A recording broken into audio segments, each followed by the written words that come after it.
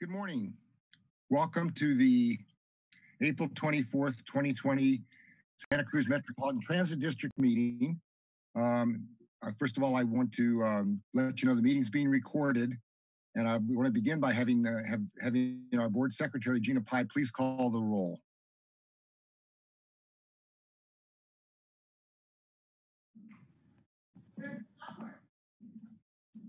Gina, we can't hear you. Can you hear me now? Not very well. Okay, Now we can hear you. Okay. Director Bottorff? I have to unmute them individually, so, Oh, we can unmute ourselves. okay, Just raise your hand. yeah. If you can unmute individually, that would be best. We'll get the hang of this. Okay, Director Bottorff. I saw him earlier. He, he can't unmute himself if, if the master mute is is. Yes, off. you can. I just did it. Oh, Really? Okay. Okay, well, I see Director Bottorff is there. Director Bottorff? He's unmuted. Okay, uh, I'm unmuted and I'm here. Thank you. Uh, Director Coffman Gomez? Present. Director Gonzalez? Present. Director Leopold?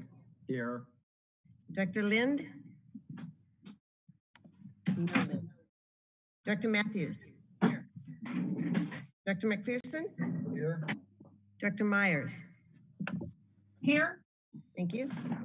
Dr. Pageler? I'm here. Dr. Rothwell? Here. Dr. Rotkin? Here? Ex officio Director Henderson? Here.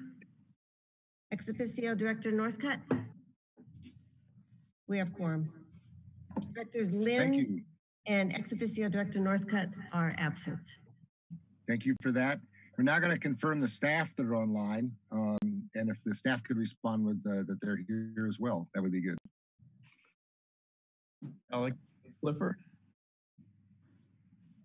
Angela. Julie Sherman, And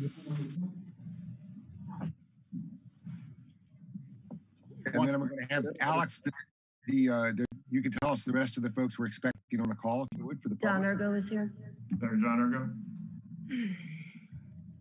and Gina Pye. Great. I haven't Um, seen zero. Okay, before we, I'm going to read something here. Before we move on to the first order of business, I want to thank everyone for being flexible and about joining this meeting by phone or uh, computer this morning. We're trying a new way of conducting our business and appreciate your patience as we move from item to item. We may stumble around a bit here, but we'll get to it. You know, presents their item, I'll be asking board members if they have any comments or questions. And if there are questions, we'll call on, each- uh, we will call on each individual board member. After the discussion portion, we'll ask for if there are any public comments before taking the, um, we're going to vote by taking roll call votes, by the way, not simply taking ayes and nays because we have no other way to know how, how we're doing. Um, if you're not speaking, please mute your phone and we may do that for you. We'll see how, how that's going to work. Um, and we're going to move on now to uh, agenda item number three, which is we're going to recess our general meeting to a committee that's made up of some of the members of our board. This is a body that exists um, in case we ever need to uh, float a bond or do some kind of financial action that the board is not allowed legally to do directly. But we have a group that basically acts on our behalf. It's made up of a rotating group of, of board members. And so we're going to turn this meeting, we're going to recess our general meeting and turn this over to the um, Santa Cruz Civic Improvement Corporation meeting. And Ed uh, Bottorff is going to run that meeting.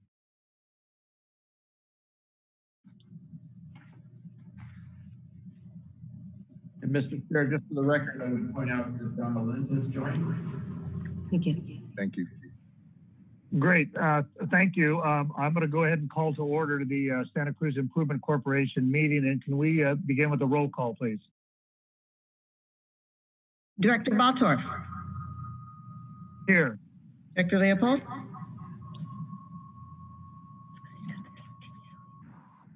Director Mc, Here. Director McPherson? Here.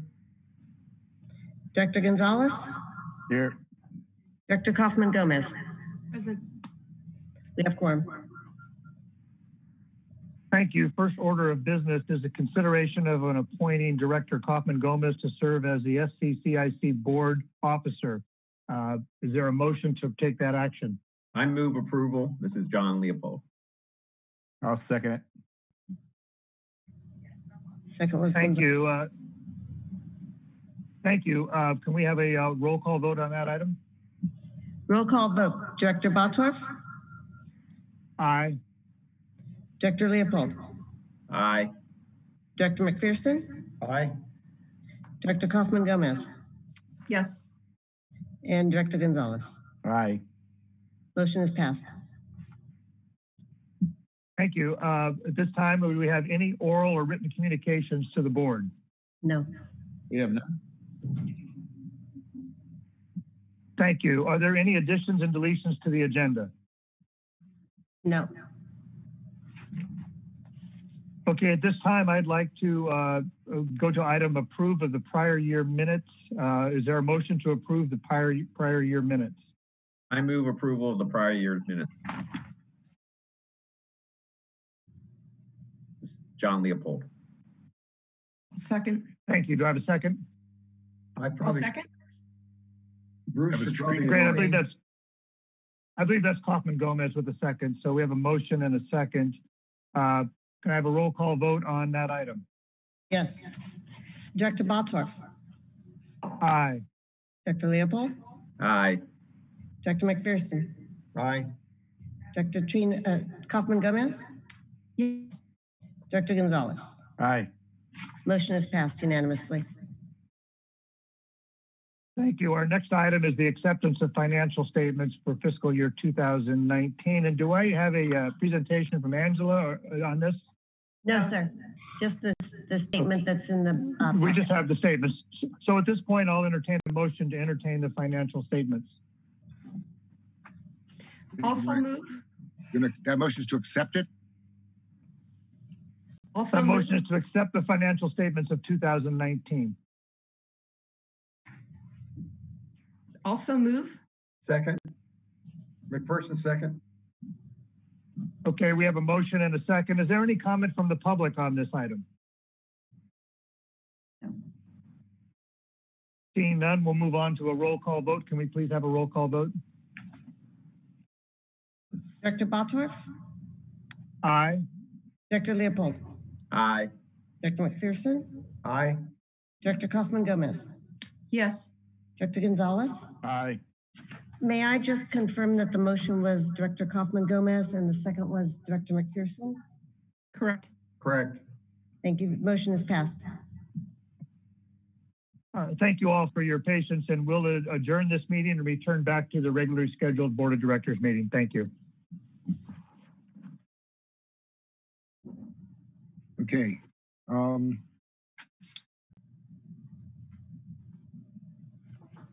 Just a moment.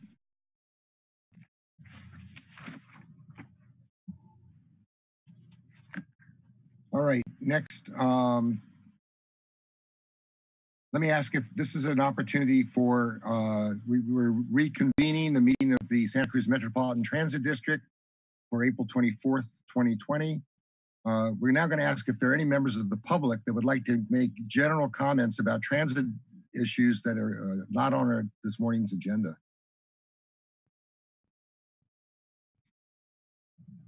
Do we have a way of knowing uh, who is online from the public?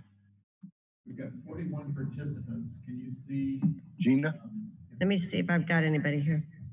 Okay, we're just gonna try to sort this out because it says there's forty-one participants.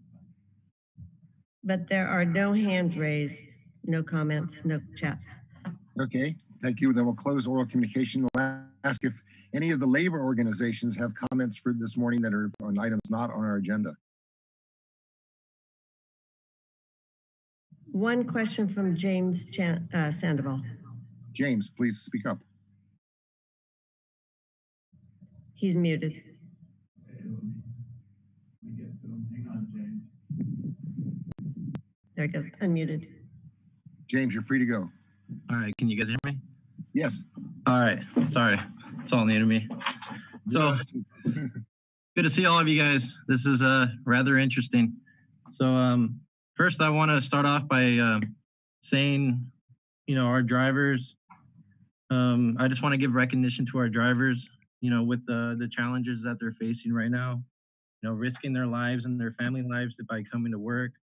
You know, they're dedicated to their job. They're dedicated to this community, and I hope them showing up to work every day speaks to their level of commitment. Um, I also want to give recognition to Alex, Ciro, Anna, uh, the rest of Metro's management's team. Uh, they have stepped up. I know you all received an email from me early on, and um, I do want to clear that up. Things have gone a lot better since. Um, the communications there, the dialogues there, we're working together. Um, our drivers feel safe. I mean, as safe as they can feel.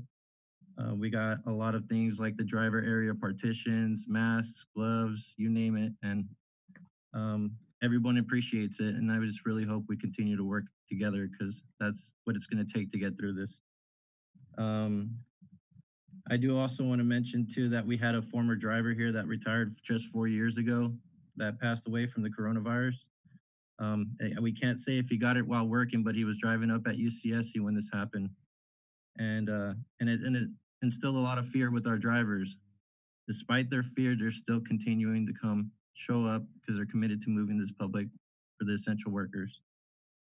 Um, I also want to speak to the the new legislation with the CARES Act with the money. I know there's flexibility to use it. Um, I'm just hoping that the intention of that is to help maintain staff um, I know we're bleeding money as a transit agency and the future is really shaky for us. Um, I just hope that the least we can do for these drivers or anyone here staffed at Metro is to try to maintain them as long as possible so we continue to get a paycheck to feed our families. Um, that's all I wanted to say. Thank you very much, James. Anyone else from the labor organizations? No one else. Seeing none, I passed over this, but are there any board members that have general comments they'd like to make to us this morning on items not on our agenda? None. I don't see anyone raising a hand. Okay. Um, have, do we have any written communications from the MAC this morning, the Metro Advisory Committee? No, sir. Okay, that brings us to our consent agenda.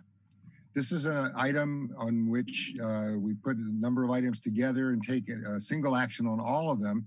These are generally considered to be items that are likely to be not controversial, but it's possible for board members to pull those items off the agenda and discuss them if there are questions or concerns that we would like to address. Members of the public will have an opportunity right now to let us know if there's any item on that uh, consent agenda they would like the board to discuss further. So I'm going to wait just a moment here to see if we have anyone from the public that I'd like, or the unions who would like to comment on consent agenda items. I don't see any hands. I don't see any as well. Thank you very much. So now we are back to the consent agenda. Let me ask board members if there are any I would like to pull from the consent agenda for further discussion.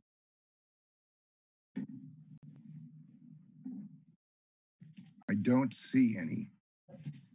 All right, I'd uh, welcome a motion to uh, approve the consent agenda. Move approval? Is that Donna Lind? Yes. John Leopold seconds. I, um, Cynthia, I have a quick question on, uh, I think it's ten four. Speak a little louder, Cynthia. Okay. Um, I have a question on ten four, which is the uh, revised capital budget. And, um, it does, um, mention earlier that the, uh, Paracruz grant is not going through. So the question is, how does that, um, affect our capital budget? And then obviously the capital budget in the past um, from the original one increased by about well over $10 million so um, and we're in such a new world i guess that's the point subject to major revision Can, do we simply acknowledge that here Yeah, so uh, two questions there. I'll go after the first one, which is the Paracruz. Um, You might recall that we were not able to get a, uh, basically a shovel-ready package in time for the current year's cycle of, uh, bus and bus facility grant. Yeah.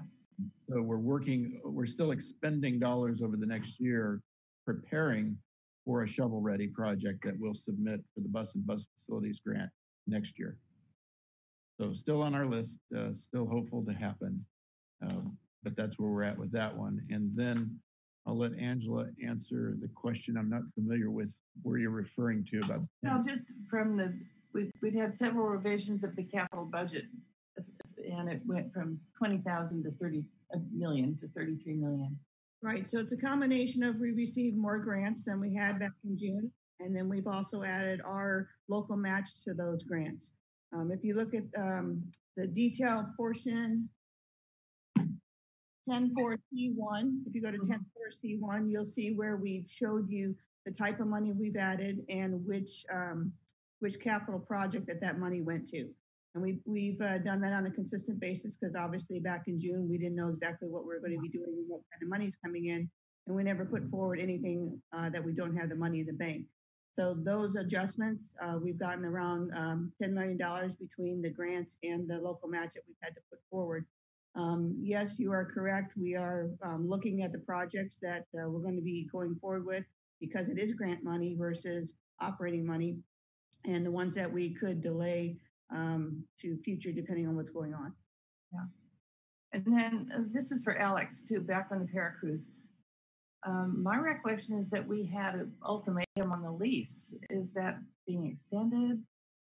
Or Yeah, or it- is the urgency factor still there? oh, it's, it's still there. It expires next year. Uh-huh. You know, our assumption is that, that he may not renew or, or, you know, obviously, we still would like to control our own destiny.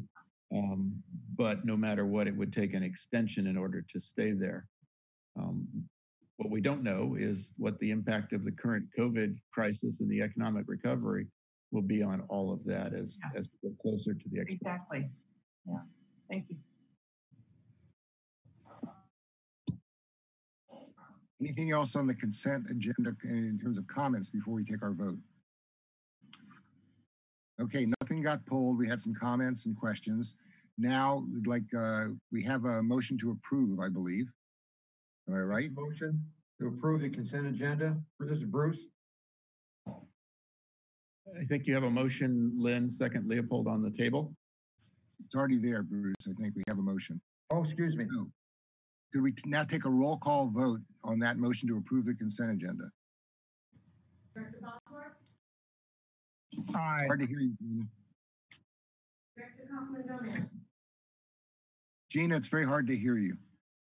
She's gonna turn her mic on. Her mic's not on. Mike, Aye. Gina, we can't hear you. Your mic's not on. Director Bottorff? Now we hear you. Thank you. Aye. Thank you, Ed, for the third time. Director Coffman Gomez? Trina, your, your mic's not on either. Yes. Alex, uh, or somebody clear all the mics for the roll call. just cleared them all. Director Gonzalez? Uh, aye. Director Leopold? Aye. Director Lind? Aye. Director Matthews? Is that me? Matthews? Yes. Director McPherson? Aye. Director Myers? Aye. Director Pageler? Aye. Director Rothwell? Aye. Director Rotkin? Aye. Motion passes unanimous. Thank you very much. Um, Our next item, um, I'm sure I got this right. Um, I believe we are on item number 11 now. Am I correct? Correct. This is the presentation of employee longevity awards. Unfortunately, it's unfortunate under these conditions, we're not going to have someone present in the room to receive our gratitude for their long time service to this district. I'm going to read something. Um, and um, could I have Ryan's full name? I don't have that in front of me. Ryan McDonald? Thank you. Ryan was born and raised in Santa Cruz, California. He holds a special place in his heart for the natural beauty and wonder of Santa Cruz. With 15 years invested in the parts department for Santa Cruz Metropolitan Transit District, Ryan believes in the local community and wants to see it thrive. He works hard to ensure that local citizens have affordable and dependable public transportation. As a teenager and young adult, Ryan himself utilized the public transportation system in Santa Cruz and saw it as a wonderful asset to gain independence. It brings him joy to offer this service to new generations and to provide safe and dependable rides to all. Starting out as a parts and materials clerk, Ryan put in over a decade of service to become the lead. Over the years, he took managerial classes for supervisors and Metro sponsored career ladder trainings to further his position. In early January of this year, Ryan took on the interim supervisory role of the parts department and is currently enjoying this new challenge. Let me ask if there are any director comments at this point. Are there any public comments at this point?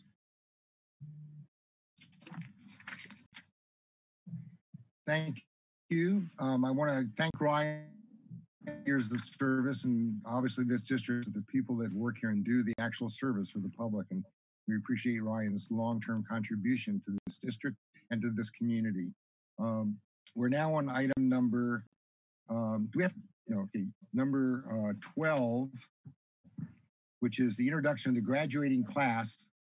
And CEO Clifford will introduce Anna Marie Govea, who will introduce the class.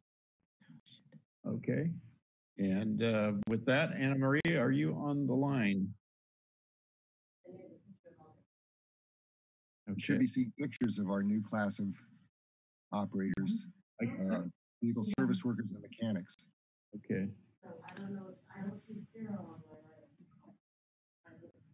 Okay, we're, we're missing management or having a hard time getting online, but you have before you, or you had before you the pictures of our um, graduating class of bus operators. I believe we have one VSW in there, which is a person who services our buses, and then also a mechanic in that group.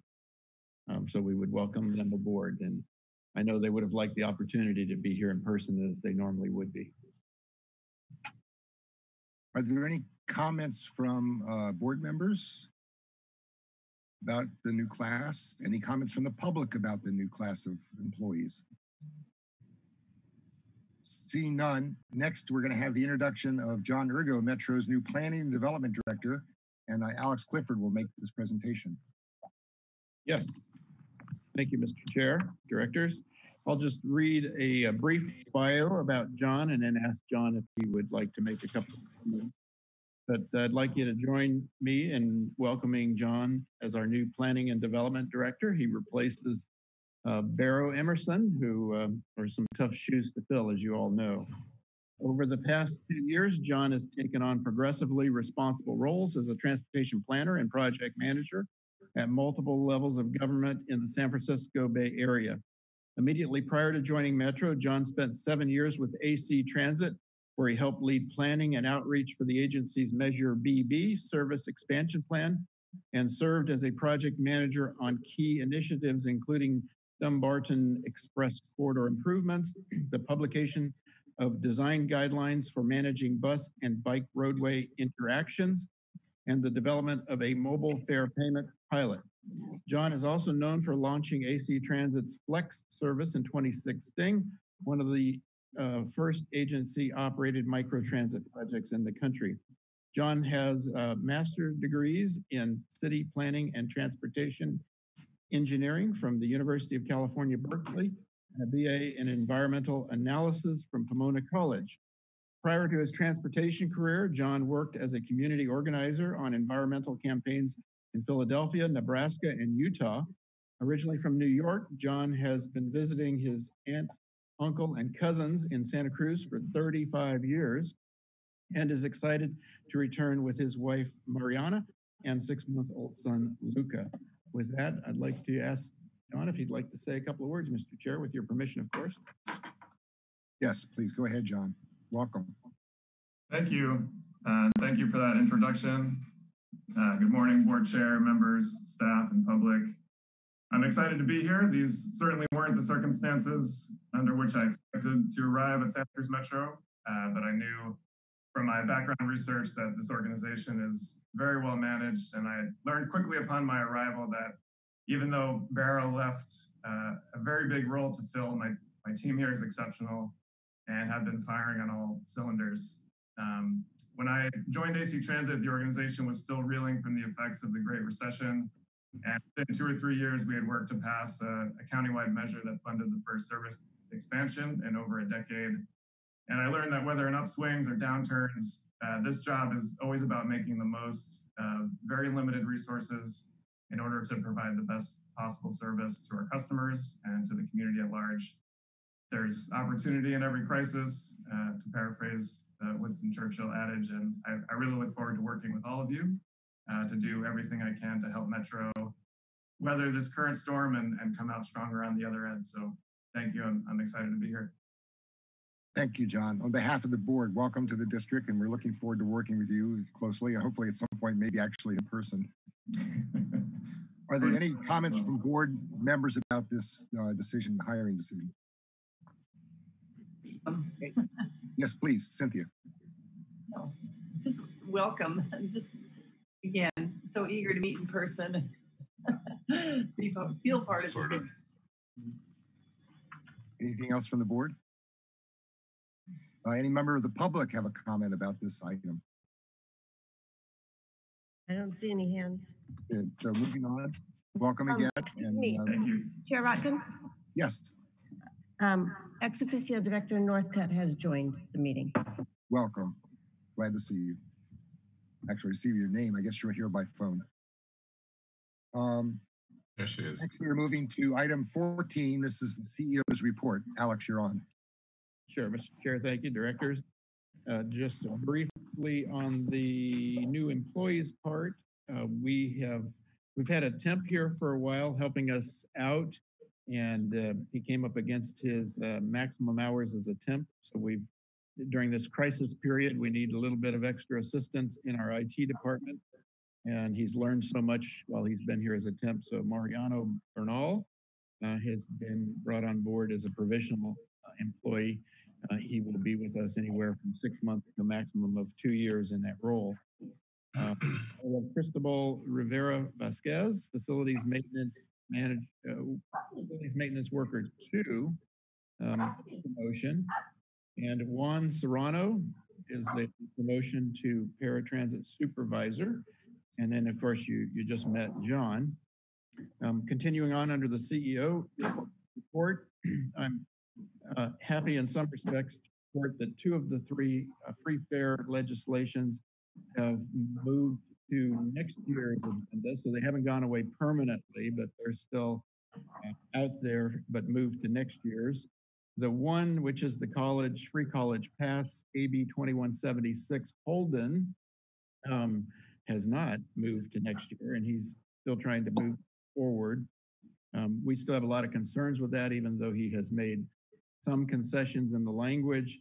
But at the end of the day, the way it is written, um, in which it, it sort of includes those who have existing programs, uh, it doesn't protect us enough because right after the legislation were to be adopted, if it were adopted, you could have both the Cabrillo College and UCSC students put forward a vote to remove their program so that they can take advantage of a free program. So it, it's still not written well to alleviate the concerns that we have, and we'll continue to track that. Um, not sure if it'll continue too far into the process uh, because the chair of the, the Assembly and the Senate are trying to narrow the kinds of things that they'll deal with this year, probably predominantly, if not entirely COVID related, and that one is not.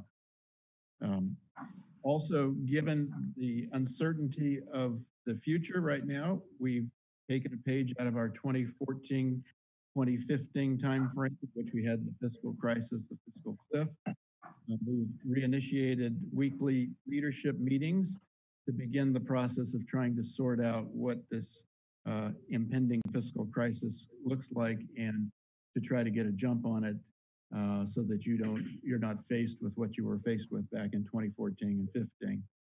Um, you, as was mentioned earlier, the CARES Act does appear to provide this agency about $20 million in 5307 and 5311. Um, but we should not think of that as a panacea. We should think of it at best case as a bridge. Uh, and it's, and the length of that bridge, we don't know at this time due to a number of factors. Um, it's too early to determine what we must do uh, in order to ultimately keep our expenses in line with our revenues. Um, what we call our economy-based revenues, which are typically sales tax dollar-based, um, and also state revenues, which are TDA, which are sales tax and fuel tax. Uh, we won't know. They, they lag uh, at least two months, and we may not have a clear understanding of what's going on right now in the way of sales tax until August or September this year. And obviously, that makes it very difficult to try to put a mitigation plan in place with all of that uncertainty.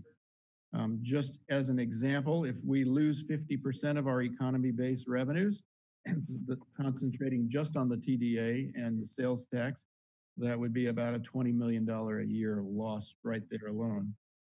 Um, we don't know when fares will return to normal. Um, that is the collection of fares. We hope that that will happen um, as soon as we, we get past the shelter in place and the social distancing. Uh, but we don't know uh, when that will end. And then we also don't know when UCSC and Cabrillo will return to in-person classes uh, and what that will look like for the level of service that they're willing to, to purchase. Uh, and then this week, we also found out that the city is uh, uh, wanting to renegotiate the contract that they have with us that doesn't expire uh, for a considerable amount of time on the EcoPass. Um, that could have a revenue impact on us also. So we're, you know, bottom line, if you sort of take a page out of Angela's previous slide that she's shown you before of a, a brick foundation, you know, we're standing on a brick foundation, but, you know, day by day, those bricks are sort of being ripped out from underneath us and it's becoming more and more unstable. Um, all of that, again, to emphasize one more time, makes it that much more difficult to try to figure out the path forward.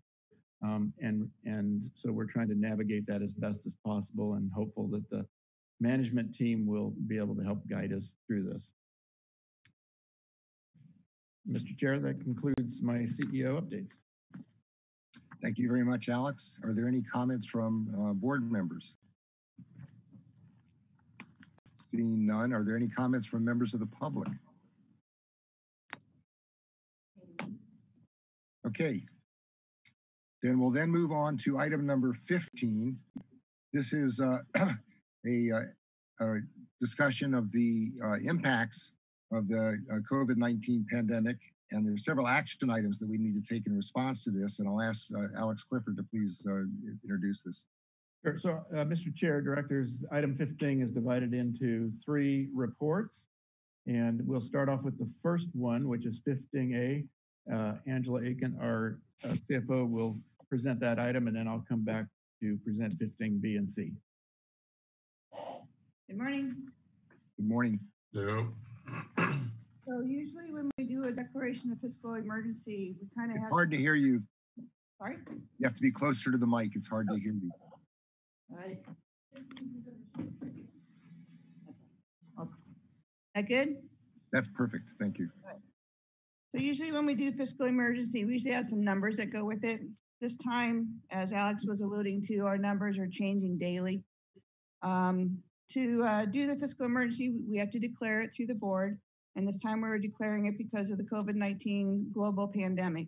Uh, mass transit is considered an essential service. And so we've continued to provide the public with the best service that we can at the time with our available resources. Um, but we have, as we've all been talking about, uh, substantially reduced the service that we have provided in the past. So normally when we do a reduction in service, we have to have um, a CEQA um, environmental impact study done. But because of the statutory uh, exemptions, we do not have to do this that this time because we are declaring a fiscal emergency. Um, just want to read this here. Fiscal emergency, when applied to a public-owned transit agency, means that the agency is projected to have negative working capital within one year from the date the agency makes the finding. And that's exactly what uh, we've done. All the numbers that uh, my staff have uh, crunched and accumulated has come up with a major negative within a year on our capital income or our, our income at all. As uh, Alex kind of alluded to, if you do a quick number of our uh, information today, just to throw out some numbers as of right this minute, Uh, we have about $40 million that comes in every year from passenger revenues, and that's from Highway 17 as well as local fares. And um, in eight months of normal revenues, we were doing fine. But in the, if we lose that, because now we're doing free fares for the last four months, that's a million three just in those four months. Then you go to the sales tax piece. The sales tax piece is 68% of our revenue. That's about $39 million. Um, again, the first uh, six months were okay, but we already saw sales tax, um, sales tax for January. The receipts for sales tax in January were down by $200,000 before this all started. We just got February's numbers yesterday, and it was down $400,000 again before all of this happened. And that's a 20 odd percent reduction in our sales tax related revenues already.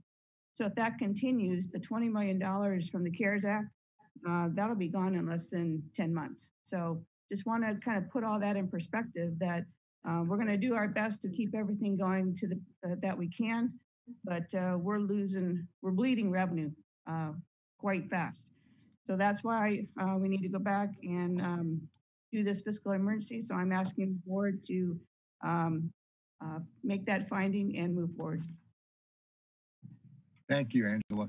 This is uh, a public hearing, and uh, this is an opportunity for members of the public to comment on our intention to pass a, uh, a- uh, approve a- the declaration of fiscal, fiscal emergency. Are there any uh, comments from the public?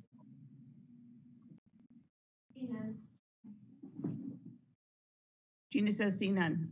See none, um, the public hearing is now closed.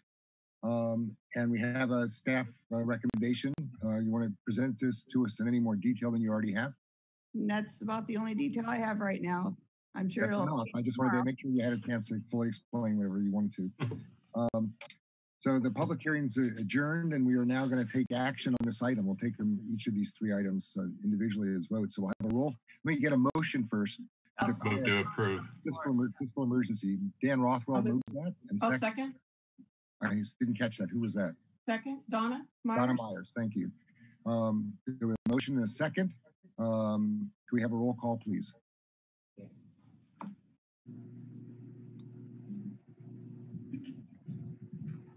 I have a motion from Rothwell, a second from Meyers.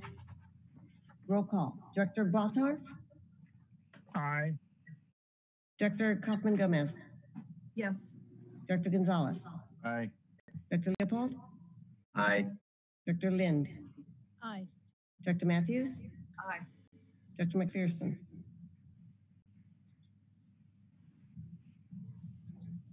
Aye. You get me? Yes. Director Meyers? Aye. Director Pageler? Aye. Director Rothwell? Aye. Director Rotkin? Aye. It's unanimous. So we got passed, but uh, Bonnie Moore had a question, which I'd be happy to have us try and respond to. Question was, how how will this uh, situation we're in now affect our labor agreements? I guess that's a question to Alex to start. Uh, I think the answer is there's nothing that we can say about that at this particular point. We have a labor agreement in place and, and uh, that will continue to be in place. I can't hear you. So the, the answer was we don't, at this point, there's no intention to uh, do anything other than follow the labor agreements that we have. If at some point that became infeasible or not possible or something, we would, we obviously have to discuss that in public and have a full discussion, but there are no current plans to do anything to alter any of the existing labor agreements. Chair, I, I just wanted to make a comment. Yes, John. Um, uh, it's, it's, it's always difficult to take these kind of votes, uh, and recognition of the difficult financial situation that we're in. Uh, I, as someone who's been on the board for a while and having gone through a couple of near-death experiences with Metro, I know that what, what works best is us all working together, working with our employees and working with the public to, to protect our, our critical services and figure out ways that we can save some money. So we look for the long-term um, viability of the agency. And I'm confident with the leadership we have both uh, in our management and in our respective unions that we can pull together uh, with this board uh, to come up with a plan to get us through these difficult times that we that that we none of us have great experience on. Um, but I'm confident, given what we've already been through, that that we can do this again. Thanks, John. and for those of you that didn't see it, Bonnie Moore responded thanking the board for our uh, uh, work here. And thank John specifically for his comments, I think. Um, we are now moving on item number 15B. This is a request for board ratification of actions taken to address the COVID-19 crisis. And I'll turn that back over to Alex again to start. Thank you, Mr. Chair, Directors, and um, Mr. Chair, with your permission, uh, I'm going to go into a great amount of detail that might be a little bit of a lengthy report, but I think there probably is no more important issue right now than what we've been faced with during this COVID crisis. That'd be okay. I'll cover a considerable amount of detail. If there's any way to be a little closer to the mic, Alex, it would help. Okay. I'm not liking our new microphone. Can you hear okay? Yes, we can hear you now. All right, we might go back to the other microphone. It worked better. Okay, so uh, I will go through uh, 15B and attachments. As you can see from that report, and as you are all aware, um, you know, in mid-March, we had our first uh, shelter-in-place order, which came from the county. It was it, it was through March 31st initially, and then extended through May 3rd.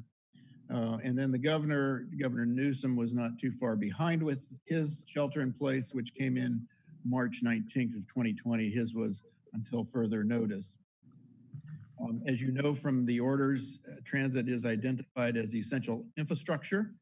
And so we are obligated to do the best we can do to try to maintain some level of service for the public so that they can engage their essential travel to, to get to places like the grocery store, appointment, and those that work at essential infrastructure locations need to get to work. You also know that the governor issued two orders that gave you relief from the Brown Act and allowed meetings like this to take place without the, the public actually physically in the room. Uh, and and but they are able to participate through this process that you have today. Um, and that we are really thankful for. But as you know, leading up to last month's meeting, we were still trying to learn as much as we could about what all of that meant. And so we ultimately, in, in conference with the chair, decided to cancel last month's meeting. Um, now, all of that meant that a lot of things had to take place to react to this uh, uh, pandemic crisis. And if we were going to try to go to the board for all of the items that we normally would, we might have been having board meetings nearly every day, which I think is pretty impossible. So in an effort to protect Metro employees, the riding public, and Metro ass assets, uh, I engaged in a number of actions that otherwise would have brought to you in a normal non-COVID environment for approval. And those actions are listed in 15B3, but I'm not going to cover those right with this particular report. I'm going to go to the attachment and cover them within the context of the chronology of events, because I think it's important for you to know what the employees and the management team of this organization have been engaged in, um, going all the way back to January, uh, or actually February of this year. As you, so now I'm, I'm on to your attachment 15B. And as you know, um, no, we don't need uh, the slides there. There you go. Uh, those, those slides will come after this part of the report. So on January 20, 2020, the first uh, case of COVID in the United States was confirmed in the state of Washington.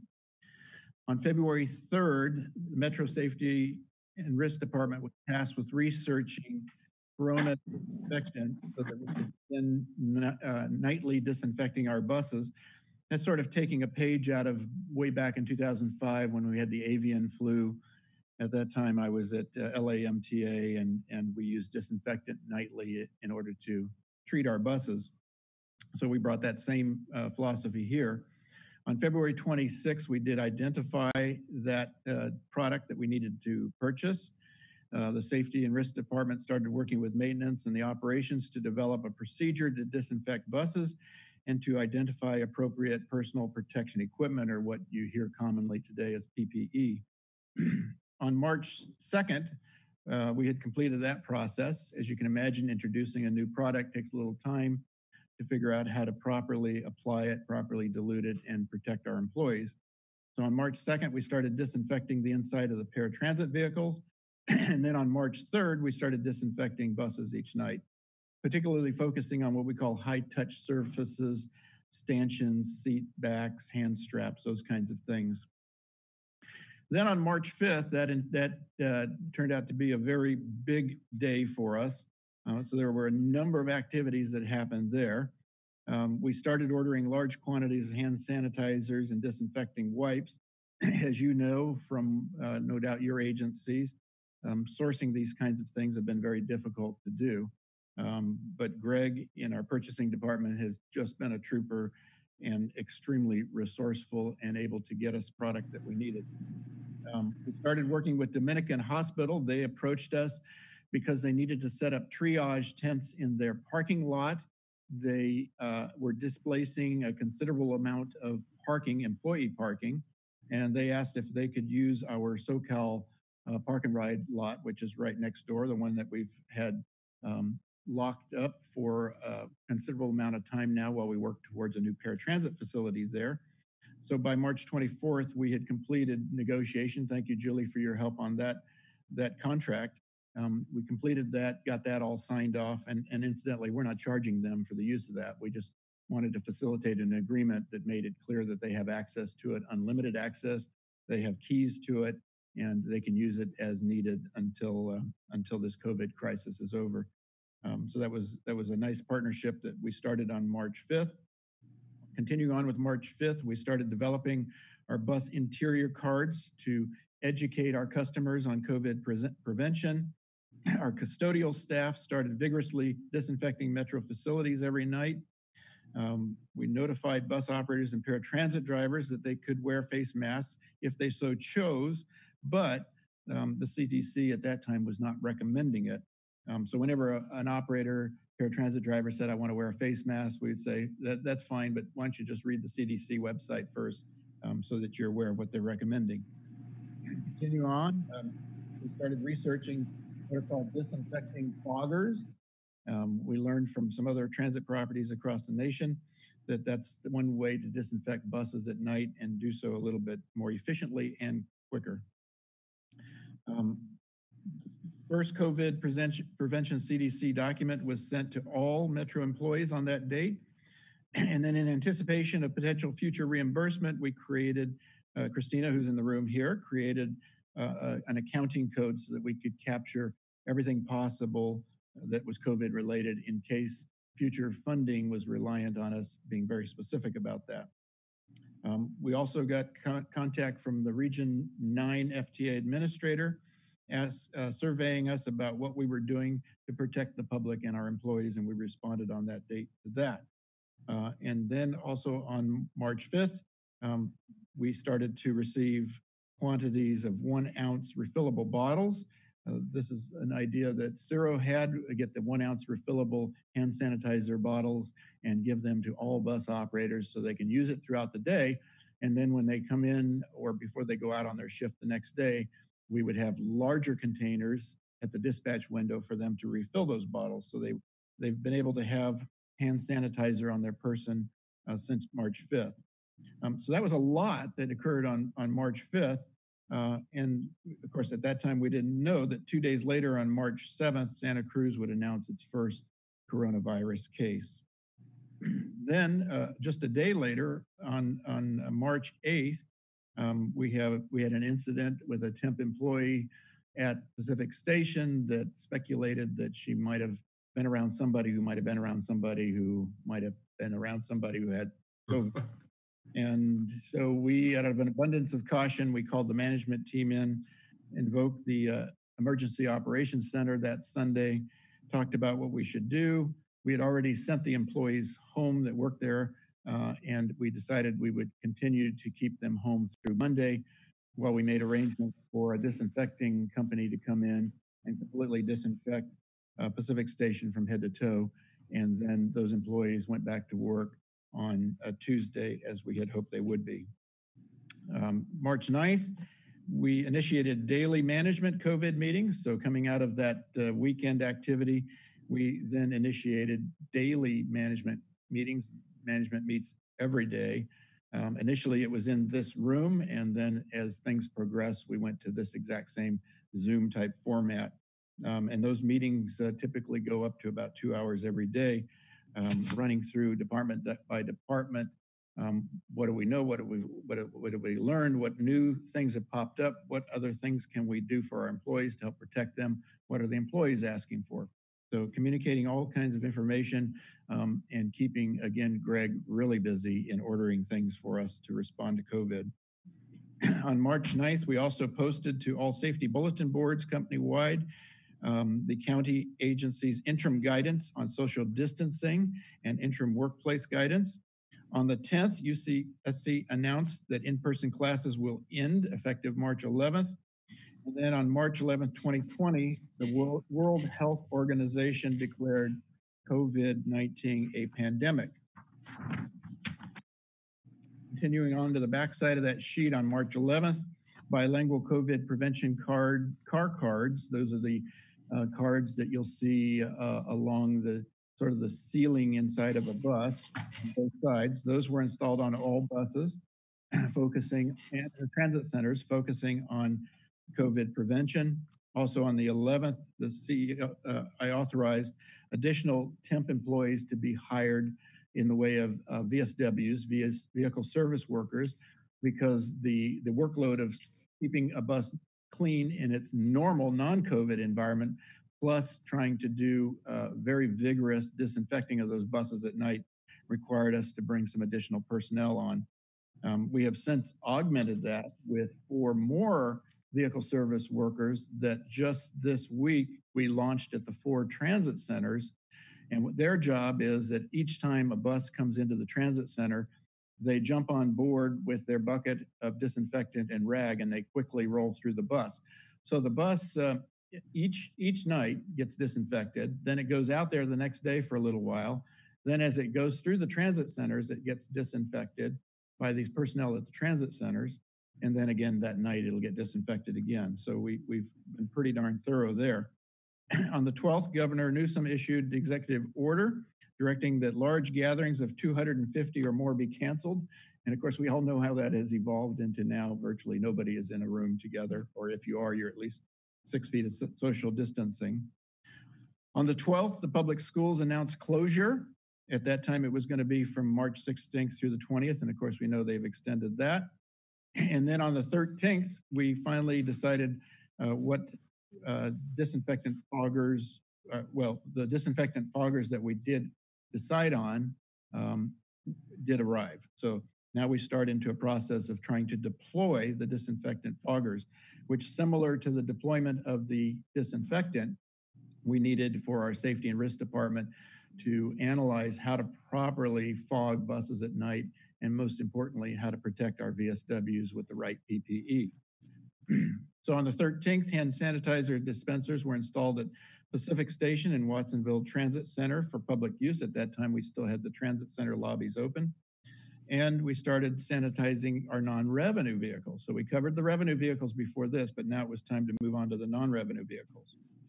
On the 15th, some non-management employees started telecommuting from home five days a week. Also on the 15th, um, I authorized that any employee in the agency uh, over the age of 65 or who self-identifies as at risk um, or having childcare problems um, could use their sick leave or their annual leave, however they would like to use it. If they just, if they felt they needed to not come to work, they could use their leaves and we would not charge them with occurrences or progressive discipline or anything else. So we waived off on all of our normal processes for unscheduled absences and just said, hey, if you're not comfortable in coming to work, you know, feel free to use your your leaves and, and just tell us, you know, what what what the issue here is. Um, and so we did have some employees take advantage of that. On the March 16th, the county health agency issued a shelter in place order until midnight, April 7th, 2020. And then on March 16th, we initiated weekly conference calls uh, with the SEIU and Smart Leadership. So each week we all get on a on a conference call jointly. We don't do it separately, and uh, again receive feedback from the union directly on what things are working well, what things are not working well. On the 16th, managers were also provided the opportunity to do some telecommuting a few days a week. And then on the 17th, the remaining non-management employees who could telecommute started telecommuting uh, five days a week. On the 17th, in an effort to reduce the number of hours of potential exposure, para, paratransit uh, drivers started on what we call an A, B, and C rotation, with the drivers working one day and then having two days off on district pay. So they didn't lose any money and they were all able to reduce the number of hours of potential exposure to the public. the next day on the 18th, we terminated our school term service. So we brought service down just a little bit.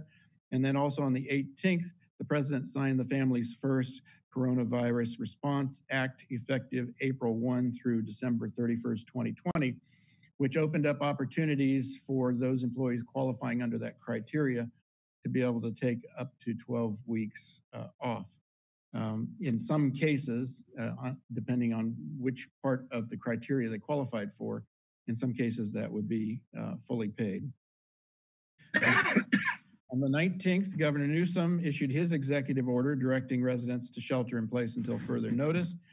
And then on the 23rd, all Metro service changed to the weekend service levels seven days a week.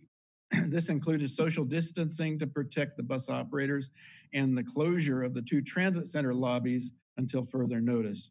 Um, we also discontinued the collection of fares until further notice at that point. And that was March 23rd. On the 26th, in an effort to reduce the number of hours of potential exposures, the bus operators started on their uh, version of the group, which was the A and B group rotation, with one group working two weeks and the other group um, on call at home for two weeks with district pay. So we significantly reduced their potential exposure, um, and and that continues uh, to this to this date. On the 27th, we put in place a modified Route 4 service because when we went to weekend only service, since Route 4 didn't operate on the weekend, Route 4 uh, terminated service completely. Uh, but we learned that in doing so, we were we were not servicing a critical infrastructure, which was the county Emeline complex. So we worked with the county, put back some service so that we could um, continue the essential needs of essential travel to that facility. On the 27th, the president signed the CARES Act, which, as we talked about earlier, will provide us around $20 million. And then on the 30th, Metro further notified customers of additional service changes that limited rides uh, to one ride in this on the same bus in one direction. We were we were now because of the free fares encountering all kinds of problems with joyriders that would just choose to ride the bus all day. Um, so we needed to say, hey, you know, you get to the end of the line, uh, you cannot reboard that bus. You can stay there and wait for the next bus, but you can't reboard that bus. Um, and we also started to to make our initial attempts to identify essential travel. On the 31st of March, the county agency issued an extension of the shelter in place order through May 3rd. And then in April, April 2nd, in an effort to further protect all employees, we issued a letter to all employees concerning essential travel and self-quarantine requirements.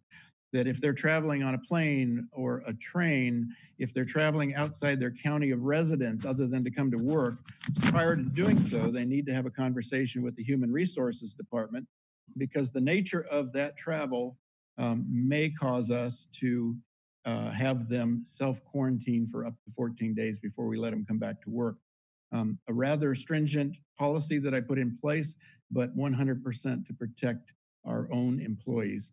Uh, if if our you know we can only protect our employees the eight hours or so that they're here at work, but there's a lot of other hours they're not here at work that they're responsible for protecting themselves from COVID and if they're traveling on planes and, and going uh, somewhere uh, across the United States or even out of country, we want to know, we want to assess it. And if we think that uh, they should self quarantine to protect fellow employees, then we will so implement that. Uh, and, and employees since that date have been very good about contacting the HR department. April 6th, we started installing at all Metro facilities uh, banners, which you'll see in a few moments, saying all Santa Cruz Metro dedicated employees are frontline heroes delivering essential services. Um, sort of going to the point that uh, James Sandoval mentioned earlier about the importance of our employees coming to work uh, in the face of a COVID pandemic. Um, April 9th, Metro implemented additional service changes to Highway 17 service, operating a further reduced schedule. Um, at that point, we were basically carrying 12 people a day over the hill and back, and that just uh, did not warrant the level of service that we had. we also put uh, bus capacity uh, limits on the buses, uh, which limited it to five to 12 passengers per bus, depending on the size of the bus that we're operating. And at that point, we were strongly recommending that customers wear their face masks. That's April 9th. April 10th, we received UCSC notification that in-person class, in-person classes are suspended through the summer session. Uh, and we still don't know uh, with any certainty if they're coming back in the fall, which makes planning service and budgets real challenging. Uh, and then effective today, we uh, actually last night, effective today, we put out um, another notification telling our customers that in order to ride our bus, they must have face coverings per the order issued yesterday and effective midnight tonight um, from the county health uh, officer. So we're enforcing that, and if people do not have a face covering, a face mask, they will not be allowed to ride. We also notified our customers that upcoming Memorial Day on May 25th, we will that we would normally run only one part of our service, and that would be Highway 17. We will not be running Highway 17 on Memorial Day. And then we further reinforce that due to the fact that we're trying our best to enforce essential travel, uh, and we are running into some complications where, say, at a terminal, we have more people that want to board than we have capacity under our capacity limited uh, buses. Um, if people have uh, some sort of documentation to show us that they're going to an essential workplace or doctor's appointment, that will help us try to decide who can have priority seating. Um, now, the last part of my presentation has to do with the slides. If we could bring the slides up and we'll just rotate through those.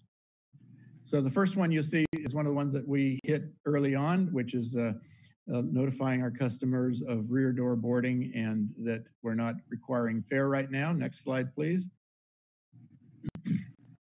This was our uh, car cards that we put in our buses. Uh, I forget the date, but I mentioned that in the chronology of events. Next slide.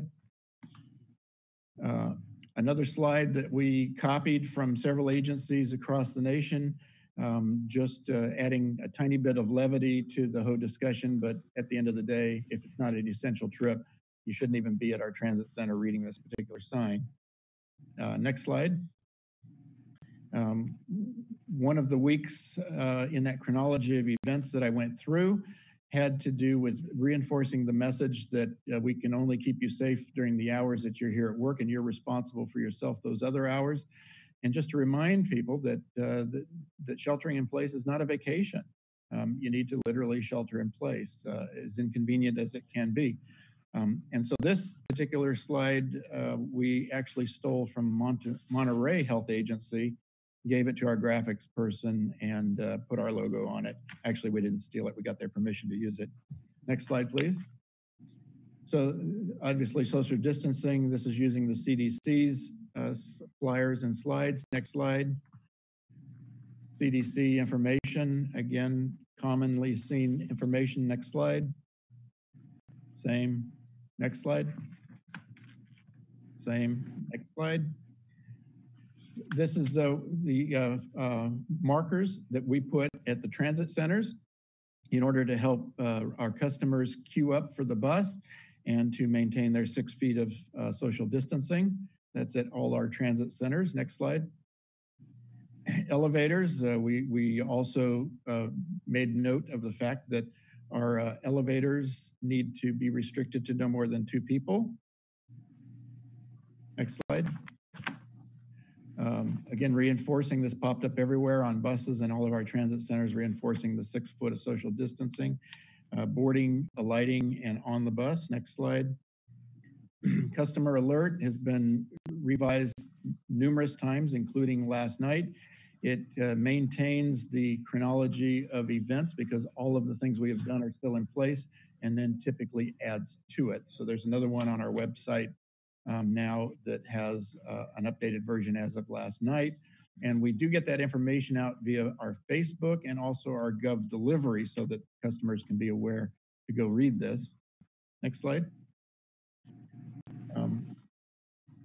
So this is uh, this is another project that we've been working on. Various transit agencies across the nation have uh, come up with different versions of it, but it's it's a, basically a clear shower curtain. you know, it it uh, goes to that social distancing again to try to protect our bus operators even further because not all of our buses, as a matter of fact, 75% of our buses are incapable of having the rear door actuated by the bus operator, which means still on 75% of our fleet, the customers must board from the front door. And so we wanted to further protect our operators, and these uh, have been initially launched about a week, week and a half ago.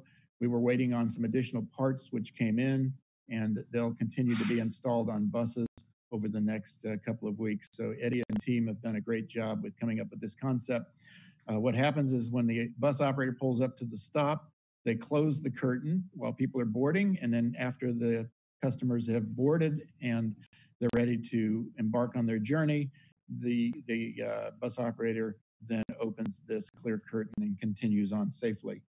Um, I did want to note too that we added additional money to our security contract to uh, have additional security officers help us with the essential travel enforcement and and also uh, in enforcing that uh, customers can only bring on a bus what they can carry on their lap. That has been a bit challenging for us, and uh, so we had to expand our security in order to do some of that too. Next slide. so this was added uh, about a week ago to our website. We we now have a tab. If you go to the homepage on our website, there's a tab labeled coronavirus. If you click on that, there are a number of resource materials there, including a, a letter which we will update periodically, just helping the customers understand what we are doing as an agency to help keep them and our uh, employees safe. Next slide. Next slide. That was page two. Um, capacity, all buses now are marked. Um, now keep in mind, we went through every series of bus. We measured what it, what we would have to do in order to uh, capacity limit those and create six feet of social distancing. And each bus was rated. So each bus has a sign like this. Next slide. we also purchased uh, a number of uh, advertising uh, uh, advertisements to put on our advertising slots on our buses. Um, we purchased this and they have been installed on our buses. Next slide. This goes hand in hand with the slide two slides ago. This is what it looks like inside a bus today. Uh, so our safety and risk director, Rufus, has worked with Eddie and team, and they've uh, measured and uh, cordoned off seats for uh, customers to sit in and not sit in so that we can create that six foot of social distancing. Next slide. And then this is just a Facebook post that was recently put up. And we continue to update Facebook and Twitter um, on a pretty regular basis as time permits. Next slide. And of course, uh, all Santa Cruz Metro dedicated employees are frontline heroes delivering essential services. Uh, we purchased these banners. Uh, thank you, Angela, for your hard work on that. She was able to do that rather quickly. And these were installed at all Metro facilities. I believe it was five. Five of these were posted, one at each Metro facility. Chair, that concludes item 15B. Would you like me to pause and answer any questions before we go on to C? Yes, are there questions from board members first? Trina.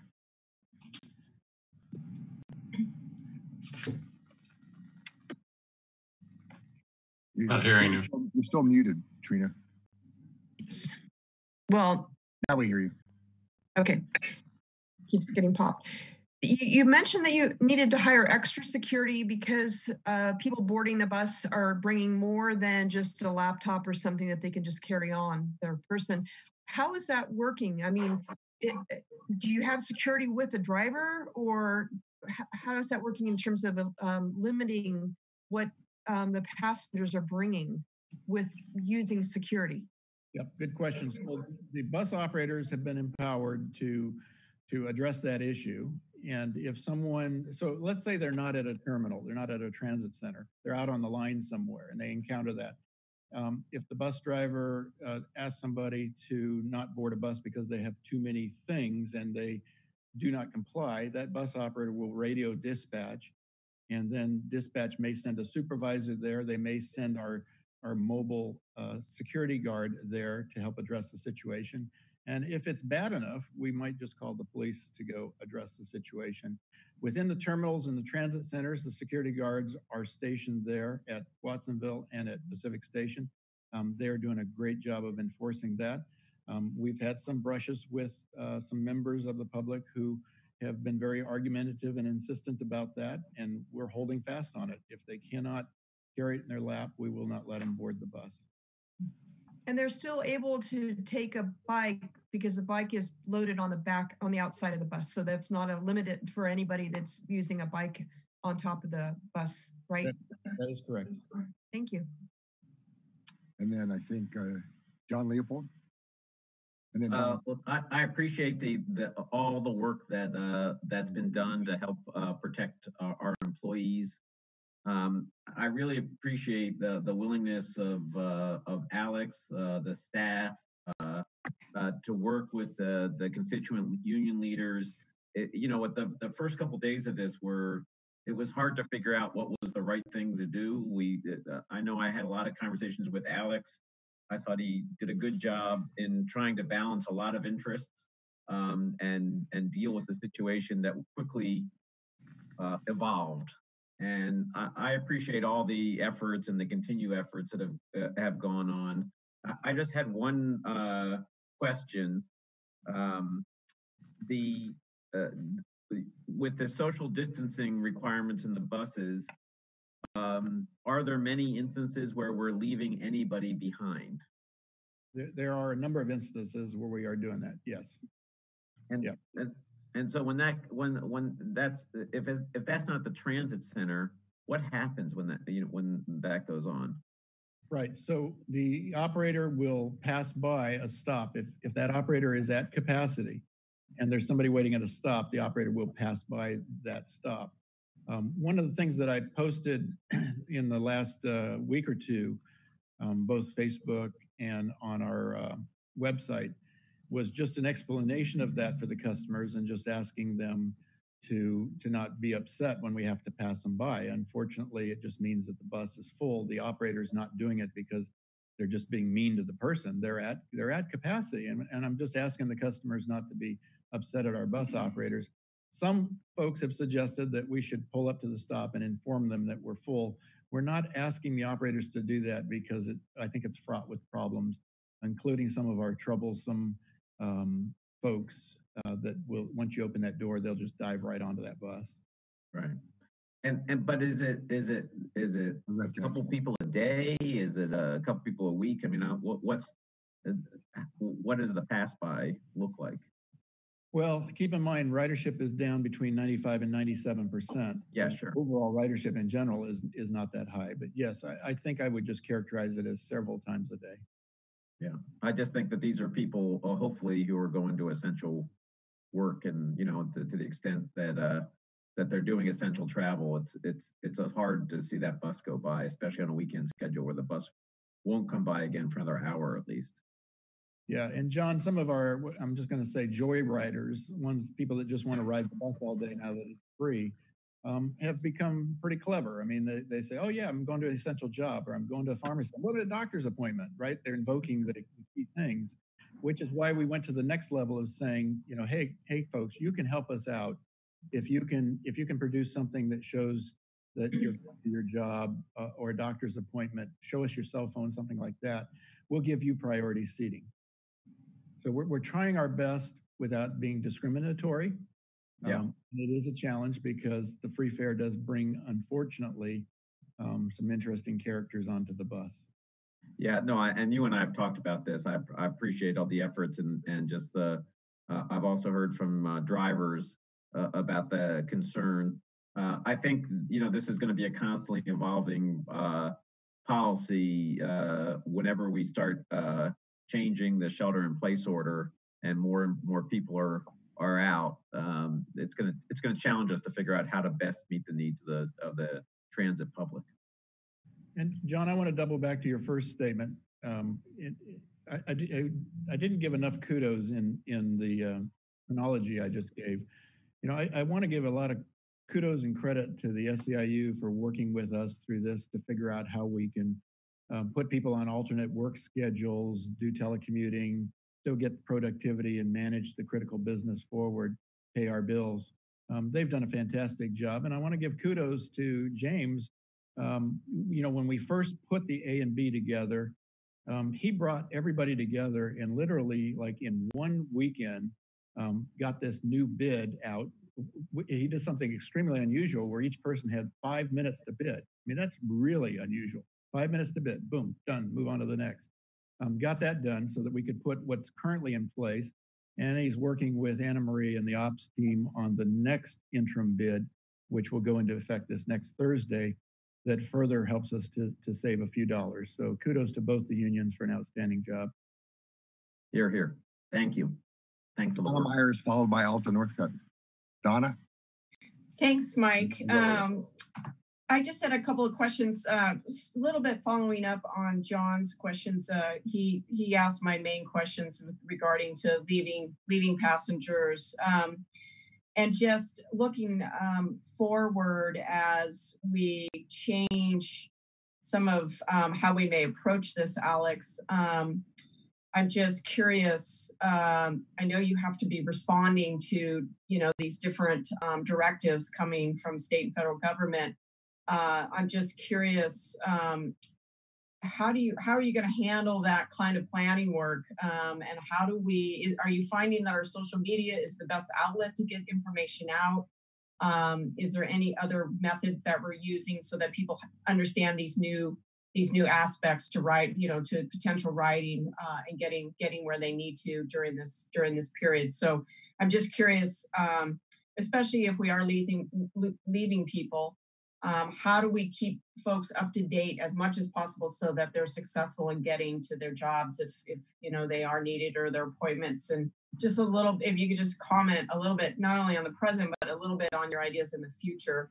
And then um, i just also just want to thank you um, your staff the management team um, and all uh, our drivers and everyone. Um, obviously this has been just something that none of us have ever experienced before, and I'm I'm very impressed by all the work across all all um, aspects of the metro in terms of um, the attention that you're providing to try to keep um, our our staff safe, but also um, have our buses be safe for people to travel in. And so I just want to extend my thanks and appreciation to everyone's work. And if you could just comment a little bit, Mike, uh, excuse me, not Mike, I'm looking at Mike. So um, if you could comment uh, just a little bit, Alex, on how you're forecasting these changes and what you're finding to be the best way to communicate to our riders. Right. Passengers. Probably what we've been doing is is uh, also going to be the path forward. You know, not everybody is on Facebook, right? That's Right. a super small percentage of our population, but it's a tool. Not everybody's on Twitter, but it's a tool.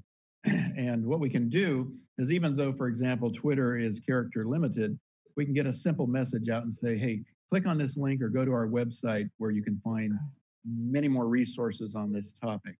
Um, so we're trying to drive everybody to the website to the greatest extent possible. we're also trying to drive everybody to Gov Delivery.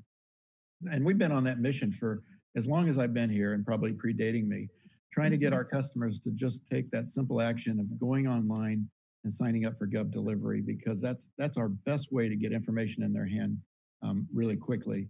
Okay. In addition to that, Ciro has developed a really nice um, uh, bilingual flyer uh, that he's updated, I think, at least three or four times in the last several weeks.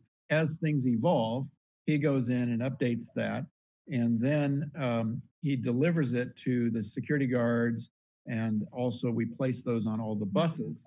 So anybody riding a bus, anybody going to a transit center, can read this in English or Spanish and understand what's going on. Even even that simple point uh, about why we're passing you up at the uh, at the bus stop because we're capacity limited. And and so when he makes the next generation of that, he delivers them and he pulls back the old generation so there's no confusion and and and that's that's problem. And then the security guards are also helping us at the transit centers getting those out too. Okay, So- great. I, I really appreciate that. We're, we're making that bilingual effort to, to reach all, to reach everyone. And um, that, that was one of my questions. Um, follow up was just, are we able to reach, are we able to reach um, our passengers and our users in a way that, you know, helps them understand all the various changes as well? So it sounds like we're on that. Um, the only thing I would offer potentially is um, the cities had had very good luck with a number of PSAs that we've published on social media. Um, we've done those in Spanish and English, um, and just bringing different aspects, very short PSAs around specific topics. Uh, we publish those on our Facebook page. They seem to get picked up, and we've been getting millions of users off of those. So maybe something in the future. We, those are literally just filmed, um, sometimes just with a cell phone, and and put up on up on our uh, Facebook page. So uh, we have had good luck with that with that kind of outreach as well. So thank you for all your work. Thanks, Don. I'm think- sure you're speaking for all of us. Before I call on Alta, you look in your upper right-hand corner of your screen, you see you have a choice of choosing a gallery view. So you don't have to just look at my face. You'll see like you're more in a meeting. You'll see all of our little faces. So I recommend that as a way of not looking at my face all through the So next to Alta, go ahead. And then after that, Aurelio. I too want to thank you, Alex, for all the good work, and I want to thank um, all of our drivers because they've been very, very um, professional, courteous, and then just authentic in their workload. Um, and I know this is stressful times for a lot of people. Um, concerning the communications that you've been giving us, I want to thank you for that because it has allowed us to communicate out to our students in a weekly time frame. So when you give us information, we can make different decisions and judgment calls for the operations at Cabrillo. So that's been very, very helpful. I want to thank you for that. And um, because a lot of our students don't necessarily have social media access, they use Cabrillo for a lot. We're learning that Cabrillo was almost a hub for a lot of resources. And because we're closed down, that means the impact is greater. So um, we've we've been able to communicate using the email for our students who don't necessarily have social media. So um, it's because of your updates that we're able to get ahead of those messages for our students. And I also wanted to, um, we have been working on using the CARES Fund to cover our summer contracts because we're going to be online exclusively for the summer as well.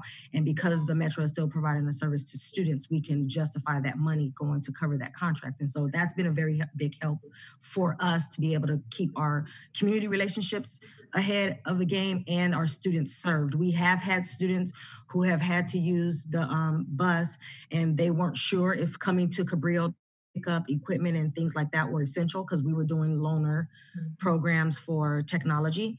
Um, and so our bus drivers were able to communicate that yes, they can ride to Cabrillo. We've only had two students who have been passed up that have reported being passed up, but we were able to say this is the reason why, and they were totally understanding and knew the weekend bus schedule, so they were able to get back out there and wait for the next bus. So it's been very, very helpful, and I'm hoping that you know um, in times where we're less stressed that we continue these kind of humane efforts and i just want to thank you all for your work with the employees as well as the community because i think that's one of the biggest lessons we're learning is that we all matter so thank you Thank you. Thanks for those comments.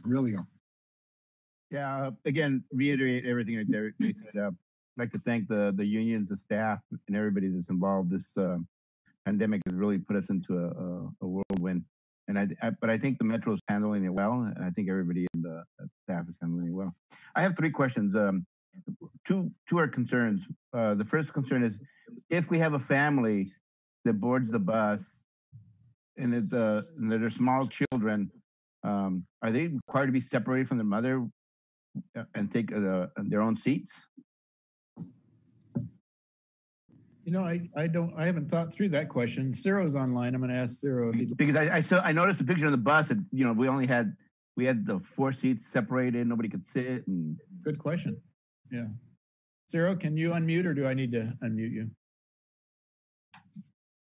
And, and then another question for concern me while he gets hooked up there is uh, if there's an individual that has food that's been given to them to carry on, and it's two bags, and they can't carry it on their lap, are they not allowed to get on the bus?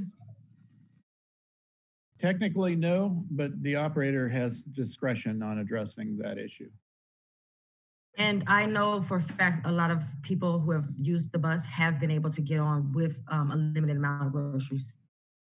I think, I think you need to get a sense of the scale of the problem we were facing. People are basically getting on the bus with a shopping cart worth of stuff, way too much to get on the bus with. And Yeah, yeah, no, that, that part I understand, but my, my concern is if we're being too rigorous, we, we need to be apparently the of bus, that. bus drivers have some discretion here, and I think they're being reasonable about how to enforce them. That's what I've heard at least. We're, we're trying to get Ciro's audio up and running for some. Yeah, we're waiting on that. And then when Ciro's getting hooked up, my, my last question is, I know we, we started our app for, uh, the bus route timing to know that our bus is gonna arrive at this bus stop at this time. Is, is there any way, any part of that application that can be said, this bus is not full and is gonna go by these bus, bus stops? Yeah, so uh, we don't have that app up and running. We, we- when COVID hit, we were still aggressively uh, working through the challenges of implementing that AVL system on, on a fleet of varying age buses. And then COVID hit and that has slowed things down, if not stopped it completely until this, this is over. So we don't have that tool, the AVL tool. Um, you know, we looked at trying to place the bus out of service um, when that occurs, but that had all kinds of technology problems too. So um, we just could not come up with a way to notify a customer standing at a stop while we're passing them by, which is why I embarked on this campaign of using the various media sources to try to educate people about that topic. So, so then the AVL, uh, app is not up and running? No, we're not up and running yet. No, no. Um, Ciro, Cyril- are you on yet? Ciro's on now. Ciro, the question was, if you didn't hear it, uh, what if it's a, a mother and two children? Uh, how are we handling that uh, under capacity limitations?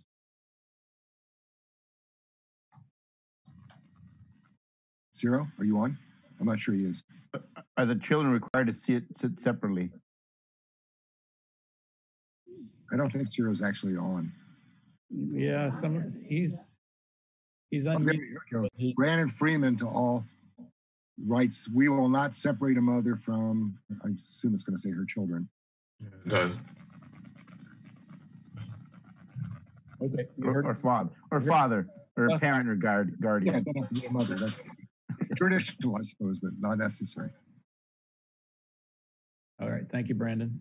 And did you get your other question answered, Aurelio? Yes. If people look in the chat, they can see the whole uh, statement from Brandon. Okay, anyone else uh, with a question? Cynthia Mathews. Yeah, comment. I want to reinforce Donna's suggestion for using the little video PSA clips. We're using those a lot with the city, and if Metro would do one and just share it with all the city, the county, the schools, the social service agencies, they can all put that up. The, the um, uh, entities that might be um, speaking to the riders of the buses. So um, I just, it's, it's pretty easy to do. I just uh, want to reiterate that. Also, just an observation, the term joyriding, I understand 100% what you mean by that, but that could be really found offensive if it gets out there in public. So I don't have a substitute for that, but I just, I just pointed out. Um, and the response from everyone has been so spectacular over such a profound situation in such a short period of time. It's really, it's very impressive. So those are just a couple of suggestions. Thank you. Uh, see, Sarah's still trying to get on. Are there any other questions or comments? I don't I'm- see any right now. I will add, I think in the public health officer's directives, I don't have it in front of me, that there is something that the social distance doesn't have to be maintained between members of the same family. That's correct. You're correct about that. Yeah. Yeah, that's, that's, that's correct. So that's the common sense application. I think the issue was when the bus has been all taped off and as a practical matter, how are they going to let the kids sit? I mean, if they're small kids, they could slip under the yellow tape or something. But suppose. even even when they're, I, I remember that image.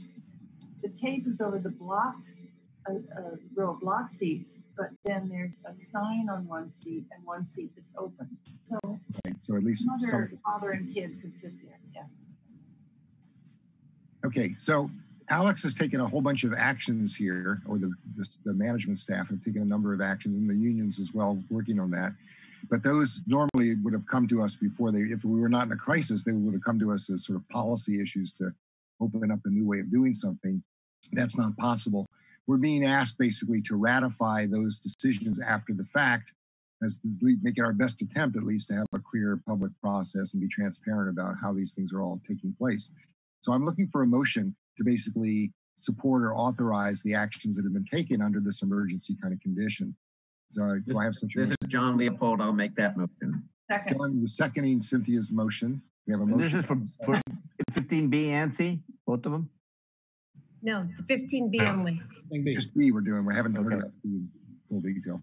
So are there any members of the public, given that that motion's now on the floor, are there any members of the public or the unions for that matter who would like to comment on our authorizing these decisions after the fact? Those of course could be reversed or changed if the if we feel that somehow they were inappropriate or whatever. I, I don't feel that at all, but I want to make sure that option's open for the board. Any concerns, issues? Any member of the public want to comment on that? I'll ask Gina to look over our list of public. Okay. Anybody on that? You know that. uh, Yep, I don't see anything. Okay. Dan, did you have a comment? No. Me? No. It's like when you rustle a paper or something, all of a sudden you get highlighted like you're ready to speak. I'm just, I'll just nod my head. So do we have a roll call vote, please? to- Uh, And Mike, um, Yes. another You have another comment, Cynthia? Yeah, would it be appropriate to say that we understand that this is a fluid situation and other directions may be needed? That, I'll take that as, uh, if that's, that you're the maker of the motion, that Yeah. could be friendly if it's agreed to by, I think, uh, was John Leopold was our second on that motion. And I see that Bonnie Moore would like to make some kind of comment perhaps before we vote. So we'll wait a moment. Bonnie, she's typing this out. I'm not, let me open my chat and see. Um,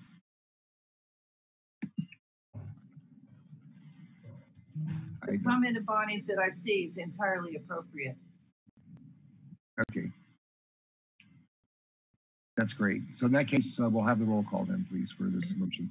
So Director Mathews, your friendly amendment is you understand the fluidity of the situation? And that um, additional actions may be necessary in the period between now and our upcoming board meeting. Thank you. And we, we acknowledge that these actions are temporary in order to address a serious situation. Thank you. Okay, I have a motion from Director Leopold, a second from Mathews, and the roll call. All the way around, actually. Motion by Matthew, second by Leopold. Oh, sorry. Got it. Not that it matters, but let's get it right. It does. Okay. Director Bottorff? Aye. Director Coffman Gomez? Yes. Director Gonzalez? Aye. Director Leopold? Aye. Director Lind? Aye. Director Mathews? Aye. Director McPherson? Aye. Director Meyers? Aye. Director Pageler? Aye. Did I hear an aye? Aye. Thank you. Director Rothwell? Aye. Director Rotkin? Aye. Motion passed unanimous. Thank you very much for that. Um, we'll now move on to our next item. That is item 15C. It's a request for board authorization for the CEO to act as the authorized agent for receiving state and or federal emergency assistance funds. One could say that's just a no-brainer. We should just have the motion in second, but we'll briefly about it first. Chair Director, I would, I would agree with that comment. Oh, sorry. My- Chair, Director, I agree with that comment. Uh, um, You, you periodically authorize me to be your agent. um, And this is a similar type of a situation. We're looking at the uh, FEMA program, for example, um, what we may be able to charge some of our expenses to. Um, We're not 100%, you know, if we're going to do that or how we would do that. We want to be very careful in using that program. Um, but should we go down that route, you would, you would authorize me to um, an application for reimbursement. Okay. Um, are there, did you want to have uh, Wondimu make any additional comments there? Wondimu, anything you want to add to? No? You want to show you? We'll let you look at Wondimu. How about that? Uh, Good morning, uh, uh, Chairperson. Good morning. Okay. Better. Morning, uh, Chairperson, board members, staff, and guests. Uh, As Alex already explained, we have been uh, spending a lot of money on uh, our COVID-19 uh, related response. So uh, so most of, some of this expense might be uh, eligible for FEMA reimbursement. And so this authorization would give us uh, some kind of uh, revenue so that we can at least get some funding for uh, our response to uh, uh, this COVID-19 uh, response. So I would like to ask the board to designate Alex as an authorized agent to receive the state and federal money as required by the California Office of Emergency Service. Thanks so much. And Thank you, Wondimu. Let me ask, uh, any board members have any comments on this matter?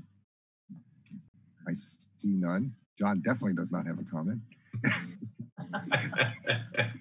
Are there members of the public who'd like to comment on this authorization? Apparently not. Uh, welcome a motion to, I uh, would move the recommended actions. motion I'll by second. John, second by Donna Meyers. Or you get a really on next to the next motion. Any, any other comments, questions? Okay, can we have a roll call vote, please?